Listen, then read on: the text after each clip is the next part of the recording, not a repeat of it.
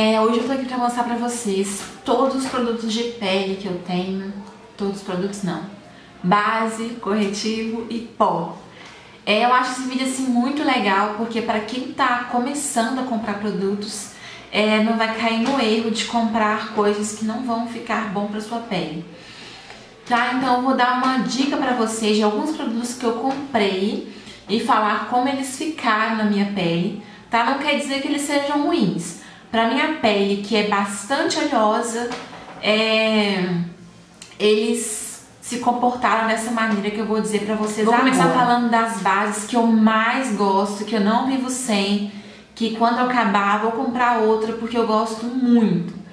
Tá? Eu vou comprar, começar com uma base que eu comprei tem muito pouco tempo, mas que eu estou apaixonada, tá? Porque é uma base assim bem sequinha. Eu até estou com ela no rosto. Ela é muito sequinha, tá? Ela dura bastante, que é a base Super Stay da Maybelline, que é essa daqui. A minha cor é a Cocoa Dark, tá? Essa base tem FPS 19, ela diz ser resistente ao calor e à umidade e dura 24 horas. É claro que ninguém, né, vai usar a base por 24 horas, mas ela dura muito. Assim que você passa, ela fica assim um pouco molhadinha, mas depois que seca, ela fica, dá a aparência de mate, bem sequinha mesmo. Tá? Essa base aqui ela é muito barata, ela custa R$ 49,90 nos quiosques da Maybelline.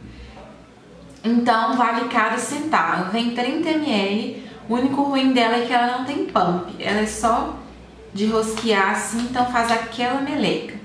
Mas essa base aqui é minha favorita, tá?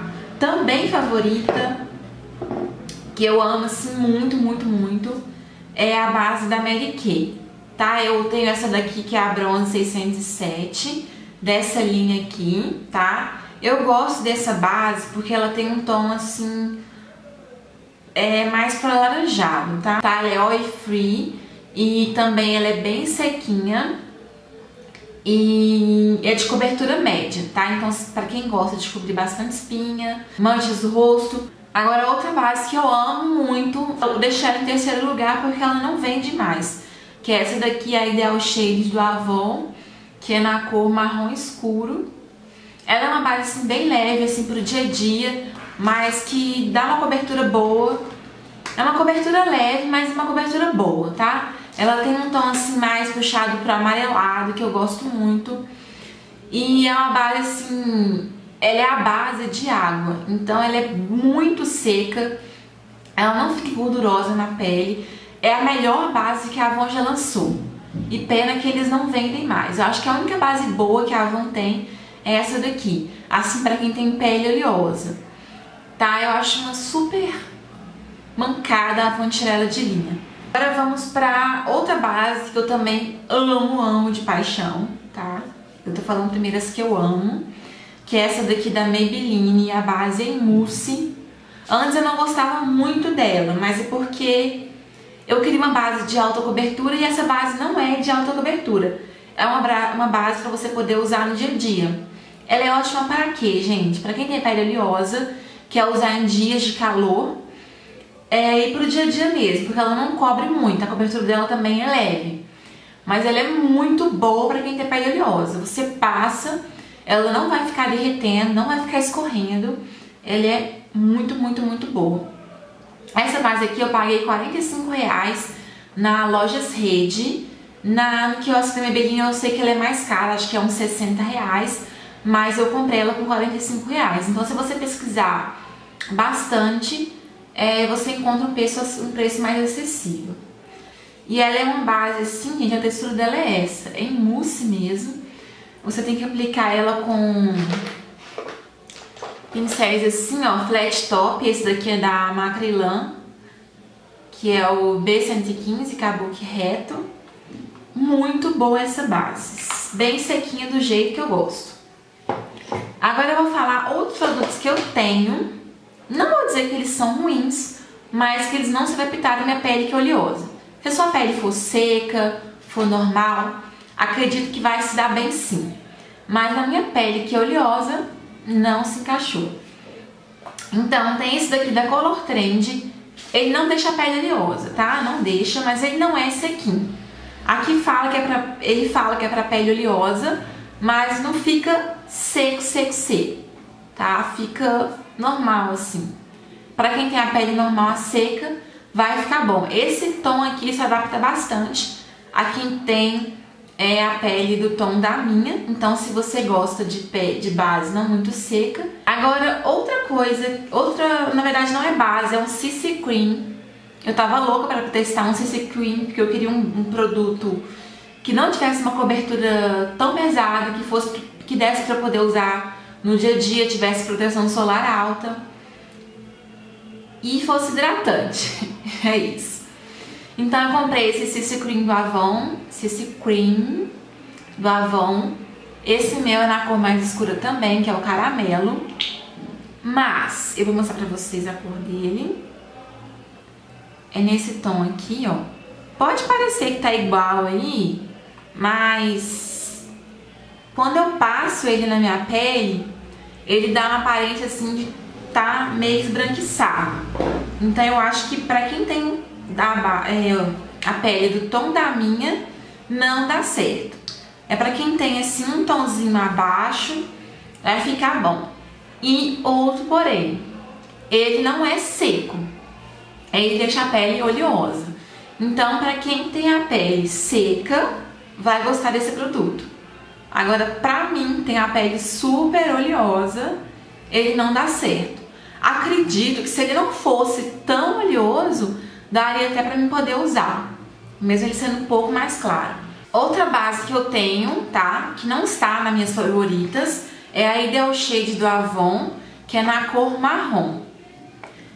Essa base, gente, ela não é oleosa, mas ela também não fica seca na pele, tá? Então eu não gosto por isso, porque ela fica assim, aparência de pele normal, sabe? Não fica seca, seca, seca. Eu gosto de pele mate, mate, mate.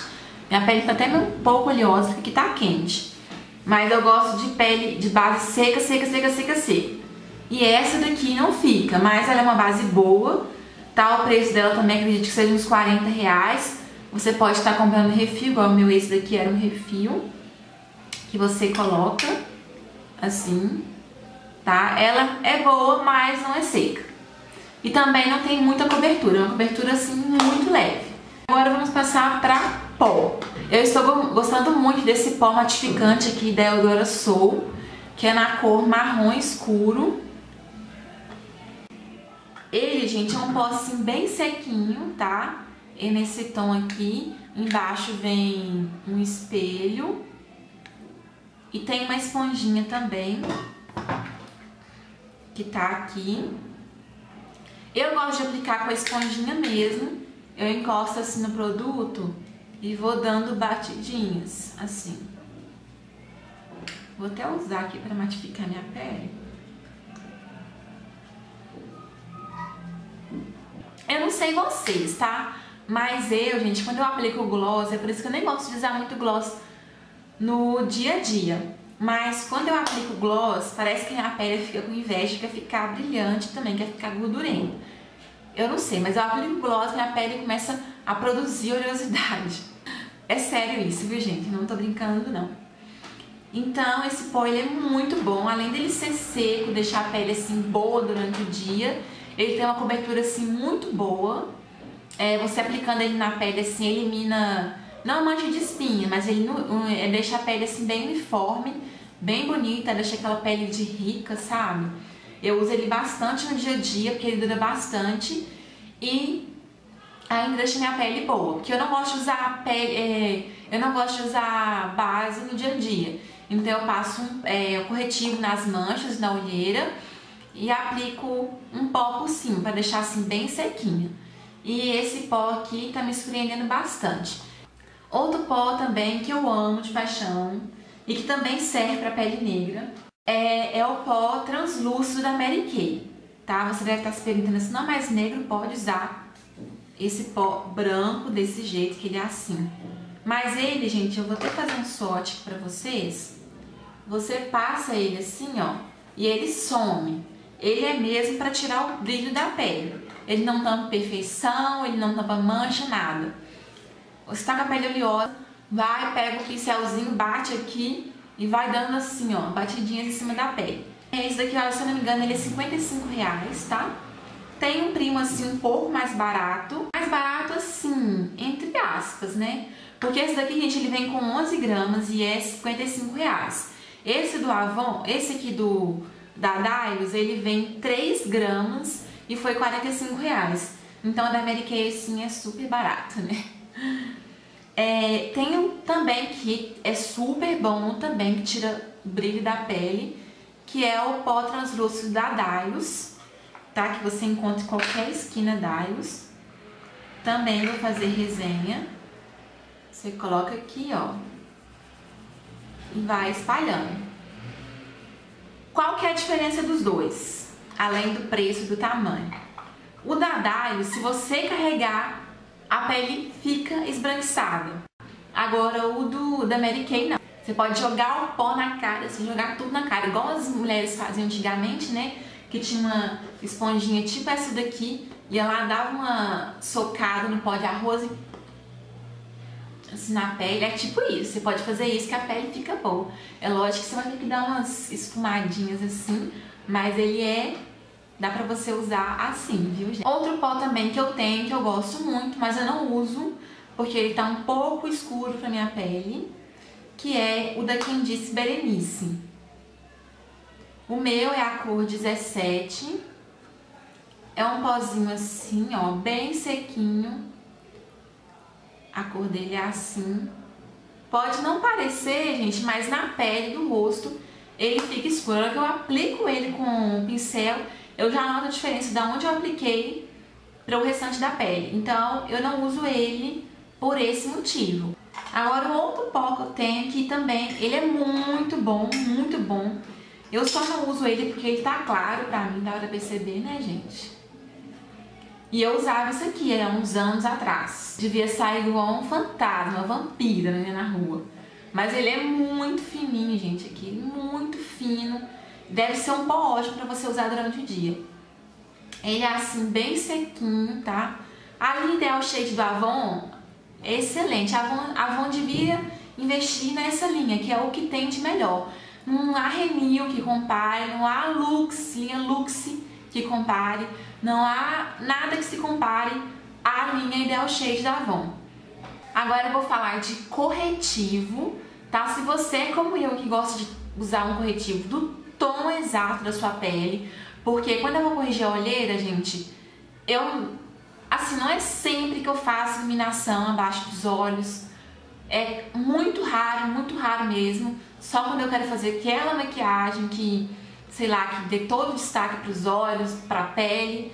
Mas assim, no dia a dia eu gosto de usar corretivos do tom da minha pele. Eu quero só uniformizar o tom, tipo assim, é, esconder mancha de espinha, esconder é, olheira, somente isso, tá? Então eu gosto, pra esconder mancha de espinha, eu gosto da Mary Kay.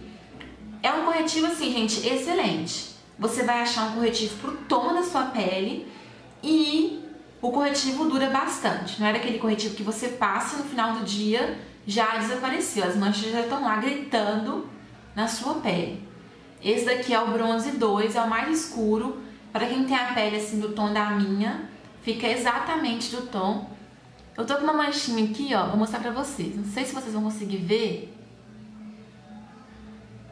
Eu faço assim, eu aplico em cima e vou dando batidinhas. Agora um baratinho que eu gosto pra usar na olheira. Em manchas eu acho que sim, que ele não dura muito. Se você encostar, ele sai com facilidade. Mas pra olheira, você aplicar assim embaixo da olheira, igual eu falei pra vocês, você vem e aplica assim, ó. Vocês estão vendo que ele é bem do tom, parece que nem passei nada, mas é porque ele é do tom da pele. Você vem da partidinha, é um corretivo super seco. É esse daqui, que ele é do Avon, tá, gente? Ele é novo, então eu nunca, eu não tinha usado antes. Ele é novo, a Avon lançou esse ano, a Avon tá olhando pelos negros, pelas pessoas que têm pele negra, graças a Deus. E essa cor aqui é a número 8, chocolate. Então, para você que quer tirar a sua olheira, quer deixar o tom da sua pele para poder usar durante o dia, passar na olheira, passar um pó, ele é excelente, tá? Ele é do tom exato da pele. Se você tiver a pele um pouco mais escura que a minha, pode usar também para iluminar abaixo dos olhos. E ele é super seco, gente. Se, se ele fosse um pouquinho maior, eu usar, ia usar ele como base, porque ele é do tom da minha pele. Gente, eu espero que vocês tenham gostado da resenha dos produtos para pele que eu mostrei. Se tiver gostado, dá um joinha no vídeo para poder ajudar na divulgação. Se inscreva para acompanhar os próximos vídeos do canal. E é isso. Um, um super beijo, fiquem com Deus.